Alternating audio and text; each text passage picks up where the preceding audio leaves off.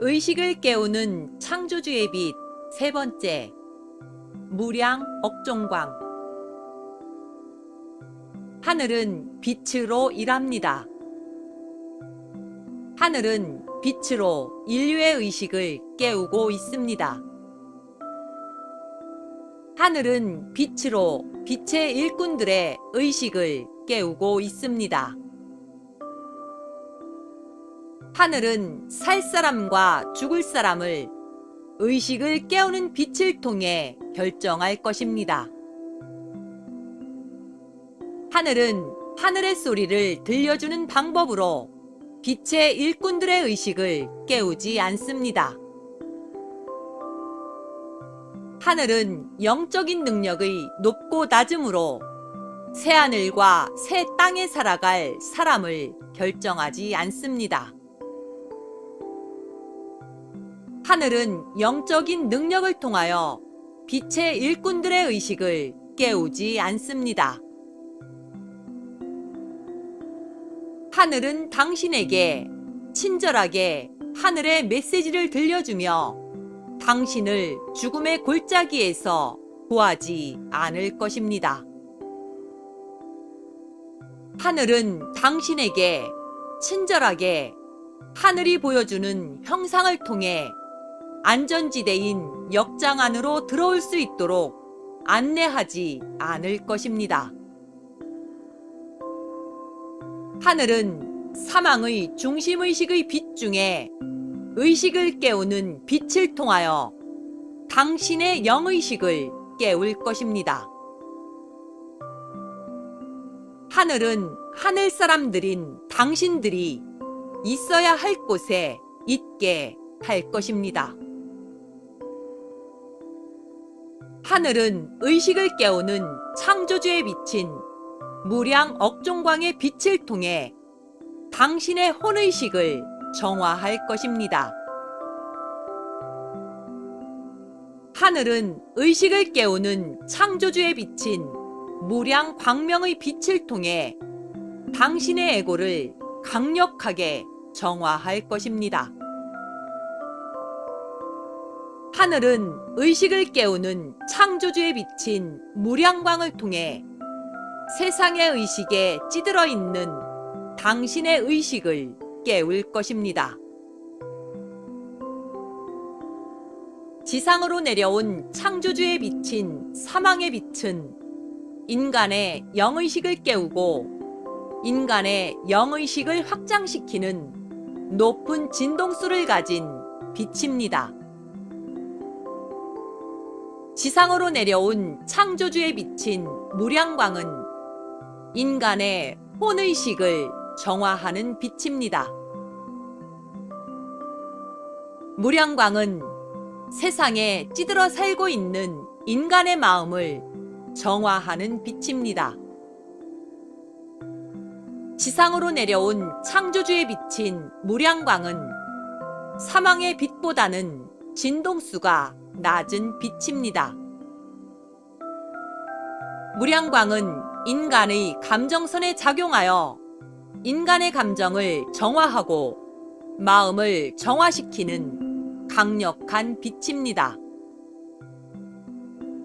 무량광은 인간의 의식선에 작용하여 인간의 의식을 깨우고 의식을 확장시키는 강력한 빛입니다. 지상으로 내려온 창조주에 비친 무량광은 인류에게 하늘에 대한 신성함을 느끼게 하는 빛입니다. 무량광의 빛은 인간과 하늘을 연결시켜주는 빛입니다. 무량광의 빛은 진리의 영을 깨우는 빛입니다. 무량광의 빛은 거룩한 영인 성령을 깨우는 빛입니다. 지상으로 내려온 창조주에 비친 무량광이 인간에게 미치는 영향은 다음과 같습니다. 무량광을 접하는 사람마다 그 느낌과 작용이 다양하게 일어납니다. 첫 번째, 무량광의 빛은 시간과 공간을 초월하는 빛입니다. 무량광의 강한 빛이 빛의 일꾼들에게 연결이 되면 그 사람 내부에 있는 에너지를 모두 휘감게 됩니다. 빛의 일꾼들이 있어야 할 곳에 있게 하는 강력한 빛으로 작용합니다. 앉으나 서나 생각이 나고 어떤 결정이나 결단을 내릴 때까지 가슴을 뛰게 하는 빛이며 가슴을 설레게 하는 빛입니다. 두 번째, 무량광의 강한 빛이 그 사람의 마음을 투명하게 만듭니다. 에고에 찌든 인간의 마음을 정화하는 빛입니다. 이기적으로 자기 중심적인 사람이 내가 나이다 는 것을 통째로 없애버리고 그 사람이 가지고 있던 모든 에고를 일순간에 사라지게 만드는 강력한 빛입니다. 세 번째, 무량광의 강한 빛이 연결되었을 때 그 사람에게 강한 충격과 기억으로 남습니다. 순간 정신을 잃을 정도의 강한 느낌을 주며 순간 눈앞이 아찔해지고 어? 이게 뭐지? 살면서 처음 느껴보는 강한 인상을 받게 됩니다. 네 번째, 무량광의 강한 빛을 받았을 때 모골이 송연하다고 할 정도로 자신도 모르게 두려움을 느끼게 됩니다. 세상에서 영적 자만과 교만으로 살아왔던 사람이라면 정말 저 사람은 함부로 대할 수 없는 사람이구나 하는 느낌을 받게 됩니다. 다섯 번째, 무량광의 강한 빛이 들어오는 순간 단중 부근에서 무엇인가 살아서 움직이고 있다는 것을 느끼게 됩니다. 마치 내 가슴 속에서 에너지의 움직임이 일어나며 혹시 내가 차크라가 열렸나? 하는 생각을 하게 되는 경우도 있을 것입니다. 단중에서 꿈틀거리던 에너지들이 온몸의 전율로 나타나게 될 것입니다. 여섯 번째, 무량광의 강한 빛으로 그 사람이 제대로 서 있을 수 없을 정도로 몸을 가눌 수가 없게 됩니다. 생명이 살아나듯 생명이 눈을 뜨듯 온몸 구석구석이 들썩이게 되는 동시에 기쁨과 환희로 가득 차게 됩니다. 일곱 번째, 무량광의 강한 빛은 강한 용기를 줍니다.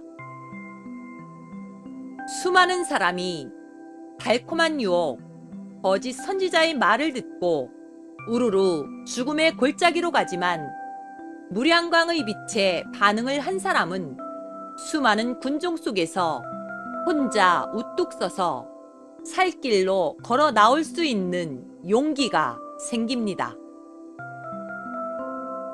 지상으로 내려온 창조주께서 인류의 의식을 깨우기 위해 준비한 무량광의 빛은 2019년 12월 12일을 기점으로 방사될 것입니다. 무량광의 빛은 아무나 느낄 수 있는 빛이 아닙니다. 창조주의 의식과 연결되어 있는 인자들에게만 선택적으로 작용하는 빛입니다. 무량광의 빛은 무량광의 빛을 받을 수 있는 수용기가 설치된 사람만이 느끼고 공명할 수 있는 빛입니다.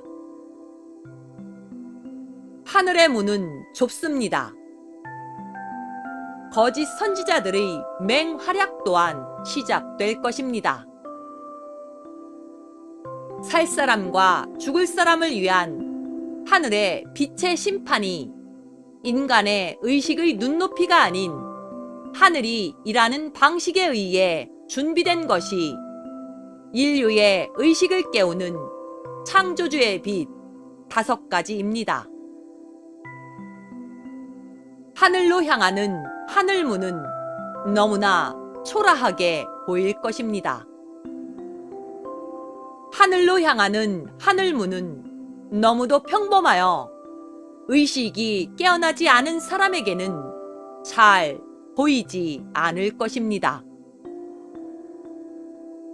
의식을 깨우는 창조주의 빛 다섯 가지는 알곡과 쭉정이를 구분하는 빛이 될 것입니다.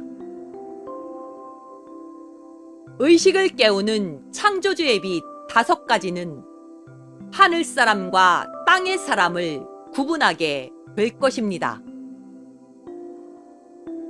의식을 깨우는 창조주의 다섯 가지의 빛은 죽을 사람은 반드시 죽게 하고 살 사람은 반드시 살게 하는 빛이 될 것입니다. 의식을 깨우는 창조주의 빛인 무량광은 빛의 일꾼들의 의식을 강력하게 깨울 것입니다. 의식을 깨우는 창조주의 빛인 무량광은 하늘에 시절 인연이 있는 인자들을 위한 축복의 빛이 될 것입니다. 창조주의 빛인 무량광을 받기로 예정된 하늘 사람들과 빛의 일꾼들의 건승을 빕니다. 2019년 12월 6일 우데카